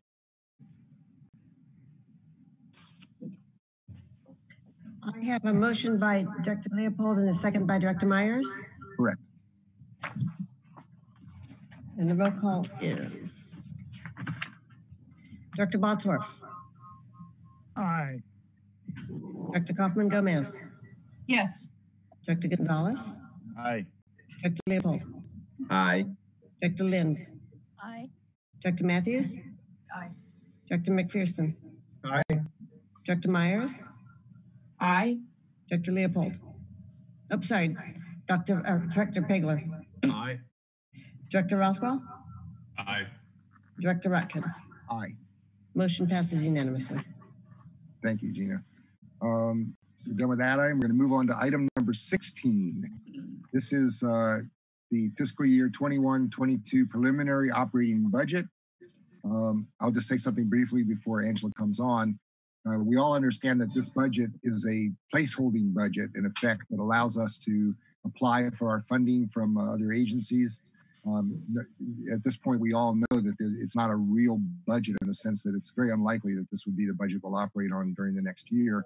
But we do need to have a budget in place to be able to make our claims for funding and other purposes. Um, and it gives us some idea of where we were sort of at at the beginning of this process, which also will help us in making any claims for monies that we've lost and revenues and so forth and those kinds of issues based on what we were anticipating before this all happened. So I'll turn this over to Angela. Well, you took my spiel, so Oh, there I'm sorry. There's there's nothing much more to say. This budget was put together at the beginning of February. And uh, it's what we thought was going to happen for the next 12 to 18 months. But uh, as we all know, the world kind of came undone over the last six months, six weeks. And um, I already gave you the numbers. Um, you know, if we have a 50% reduction in sales tax, that's about 20 million already. We only have four months left of this fiscal year, so we're going to limp through between now and June. But uh, for the coming fiscal year of 21, um, all bets are off. We're not going to know what our sales tax numbers are. Um, if I already have a 20 odd percent reduction from February sales, I can only imagine what March and April and probably May are going to look like. Um, crystal ball today, you might see some sales tax coming back in in June and July, but um, we're really not going to know what we're going to have going forward until this fall, which is unfortunate. Um, you know, we still have federal money coming in. Uh, we do not have the fares coming in at this time. Um, we have four things of our revenue that is sales tax based or fuel tax based. People are not driving like they used to, so that revenue is coming down. And because sales tax uh, driven revenues are about 70% of our revenue that comes in, it, it's a it's a big hit. I just don't know what it's going to be right now. Um, we're having discussions about a deficit bu- budget come June. Um, not so sure we can do that because of some outside things like uh, having a balanced budget for our TDA claim. But we're doing some research. I know the whole time I've been here, we've never had a budget that wasn't balanced in some way. But um, we're, we're doing some research to see if, if that's something that can be put forward. We do want the public to know what um, what our situation is to the best of our knowledge. Uh, but we also need to follow um, the rules to put the budget forward. Thanks. Um, just before I go any further, let, let me thank uh, Ian Berry, that's B E R R Y, from Community Television, who's doing a lot of the technical stuff behind the scenes here for our being able to have this meeting this morning. Um, I think it's kind of a key role, and I- we should recognize his, his help because without it, I think we wouldn't be online as uh, effectively as we have been. Um, you've now heard the report on where we're at in terms of this uh, proposed budget. Are there any comments from board members about this proposal? Cynthia Mathews. Yeah, um, I'm totally supportive.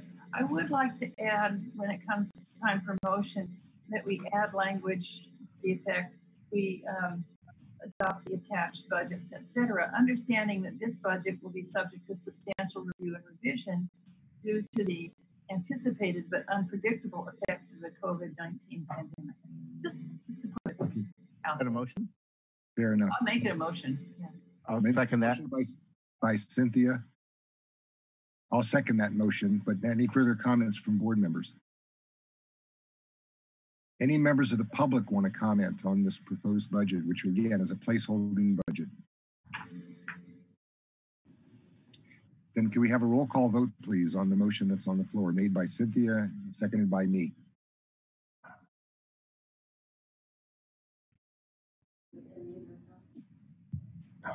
Okay. Sorry. Uh, That's right. Motion by Mathews, second by Rotkin. Roll call. Director Bottorff? Aye. Director Coffman Gomez? Yes. Director Gonzalez? Aye. Director Leopold? Aye. Director Lind? Aye. Director Mathews? Aye. Director McPherson? Aye. Director Meyers? Aye. Director Pageler? Aye. Dir- Director Rothwell? Aye. Director Rotkin? Aye. Motion is unanimous. Thank you. Side note, we'll be coming back in May, normally do our budget. There probably won't be too much change to it. Um, but just, that's our normal process that we go through is that in May, we would normally come back to you with our budget. This one should have been adopted in March, but because we didn't have a meeting, we moved it to April. And then we'll go forward from there to June. Thank you. Thanks, Thanks for that clarification. We're next on to item number 17. This is an update on Pacific Station by Alex. Thank you, Mr. Chair. And I should point out that uh, Ciro is now in the room here if you still would like to hear from him. He he abandoned his technical difficulties over at JKS and ran ran back here. Um, would you like to hear from him or, or Sure, if you'd like to add any comments. Uh, Ciro, the, the issue that people raised was uh, how we're going to handle a situation where, say, a family gets on the bus together. Um, they're not required to socially distance, and it would allow, you know, more people on the bus if three or two or three or four people could sit together in those seats and uh, not have to be six feet apart from each other. And basically, one family would take the whole bus sometimes. Yes, excuse me. Um, basically, I mean, we're not going to leave anybody that has those kind of dependencies out there. I mean, there's going to be some provisions made. Uh, the basically, it's left to the operator's discretion. I mean, clearly, our training, uh, their training has led that our purpose is to transport people, and you're not going to leave a mother with some children uh, laying by the wayside because they can't fit on the bus due to our capacity limitations. I mean, there's a way of social distancing in a, in a manner. I mean, the family together really uh, already have that established, so they can sit within two seats, maybe one person on the lap, maybe across from each other. It, it's it's workable. Is what I'm trying to say. So um, the the social distancing that we've established is because we've the free ride has uh, created a situation in which a lot of people are wanting to use the bus as kind of a, a rolling shelter in a way. And as a result, they carry a lot of items, they carry a lot of things with them. Um, and they're, they're just going back and forth. Same bus. Our, our rule is you can't take the same bus unless it's a different route. So that bus may arrive at the transit center. Uh, they'll alight. The curtain changes. Maybe it was a 71. Now it changes to a 69W. They're allowed back on the bus to go back a different route. But if it's the same bus with the same curtain, 71, returning back, they're not allowed to go back on that same bus if it's the same person that got off. Security is monitoring that, as is the operator. The operator will uh, seek assistance if necessary from security when that those types of situations arise. It's been working out for the most part. At each point where an operator passes someone by because they're full, they do radio it into dispatch, but dispatch is aware uh, of the situation. And basically, it's just a, a matter of waiting for the next bus to, to assume the route. Our mobile units, um, patrol units from the first alarm are assisting greatly in uh, ensuring that people are not taking advantage while they're on route, not at the transit centers, but on route. So they're responding to calls from the uh, operators and such when necessary. Thanks for that further clarification. We appreciate it. Sure. Now we're at item number 17. This is uh, Alex is going to talk to us about the Pacific Station update. I had a question. Oh, sorry. Go ahead, Dan. There you go. I just wondered if you had any incidences of where you passed up somebody because it was full and then they waited for an hour and then you passed them up again because it was full. I have not had any reports of that as of yet. Um, okay. It may be happening, but I'm not aware of it. It could happen. Okay. I think because dispatch knows of the situation, at least we have some communication about that, perhaps if, if that were to occur. Yeah. Not guaranteed, but do our best. To the best, to the best of our knowledge, yes. I mean, uh, Does that answer your question, Dan? As best we can answer? Yes, that's fine. That's fine. Okay, item 17, Alex. It's an oral update on Pacific Station. What's going on? Yeah, just quickly on this, I just want you to know that uh, over the last month and a half, uh, Bonnie Lipscomb from the city and I have continued to work on the MOU. Um, I'm happy to report that uh, I think it was late last week. Um, we worked through our final issues and came to the meeting of the minds. Um, so uh, I guess uh, the only caveat I have on this is when I've been working on modifications to the MOU, I work directly with our counsel, Julie, and her, her sub-counsel um, to make sure that we flesh it through the council. Um, unfortunately, Bonnie hasn't done the same thing. So what she's got to do now is take what we've negotiated and go to the city attorney. Um, so the, the, the asterisk is this, I mean, that city attorney could come back with further changes now that I wish we would have talked about through the process. And uh, now we got to engage in more negotiation. If he, he or she doesn't come back with anything substantial, which is what my hope is, uh, then what we've negotiated should just come back to you for agreement at your next board meeting in May. So that's where we're at with that. Thanks. We're, I think everybody appreciates that progress on this issue because it's we've been trying to move forward for quite a while on it. And glad that we're making some progress there. Any other comments from board members about that report? Any members of the public want to comment on that? Okay, that's an oral report, does not require any board action. Our final uh, open board uh, item is to have uh, Julie Sherman, our counsel, tell us what's going to go on in closed session and offer the public an opportunity to comment on whatever items are coming before us. Julie? My mute off. Okay, everybody can hear me? Yes. Um, okay, so there are two items listed. It's a, a performance evaluation for the CEO. And the second item, I have just received word from Metro's workers' compensation attorney, Marie Sang. That item is not ready to go, so that item is going to be pulled. Okay. So we'll just be having the one item, and there will not be a report out. There will not be any board action after the closed session. Thank you very much for that. Let me, uh, before we uh, close down this public session, since we won't be coming back to it, let me ask that the staff give a clear instruction to all board members how they get onto the closed session item. This won't be open to the public. In fact, many of our uh, staff are not welcome. At this point, we, we've heard from uh, Alex earlier. Alex, would you like an opportunity to address the closed session before we send you out of the room? Um, no, just to add one other uh, layer to what you said, I think our ex officios are not allowed to participate in that too, I believe. That's correct. Thank you for that clarification. Yeah. So for their, my their understanding is that all, each of you, each of the board members, the uh, non, uh, people who are regular board members, have uh, an email that tells them uh, you can go click on a, on a uh, URL that basically will take you to the closed session. Uh, do I understand that properly? Yes. Is that correct? Uh, So, I, I want to make sure I can find it. Yeah. So right now, if you- Yeah. if you move your screen to the thing. side it'll- and get back to your email, you find an email address, uh, I mean, an email item. It comes from Ian, Becca Reed, I believe, sent this out. I got one from, I got one from Ian Berry. He's from um, Community TV. Mike, I think he might. That was the most recent one we got was from Ian Berry. Becca, Becca got us into here, but I think Ian Berry gets us into the closed session. Yeah, we would, we would have gotten it this morning. Yeah. we got I don't see that on mine. Is it, is it any different than the one we were sent earlier by, uh, Here, what, what I'm going to do, if, if you don't mind, is we'll go ahead and end this session. Those board members, Julie and Alex that can and think they have a link into the closed session. If we don't see a board member there, then I will ask Ian to send you a new invite. How's that sound? that sounds like a plan.